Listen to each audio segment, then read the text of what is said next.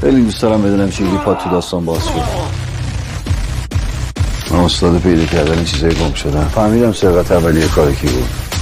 پاش بیفته سر خودت هم معامله می‌کنه برای شکار چاق پرسیدم از من ترسی من نمی‌تونم با قانون شما کار کنم. شما نمی‌تونی با من قرار مدار مصطفی زمانگر روز ششم. اسم این کار دزدی آدم ربایی. حکمش هم اعدامه همه یکی رو دارن که بهش اعتماد کنن.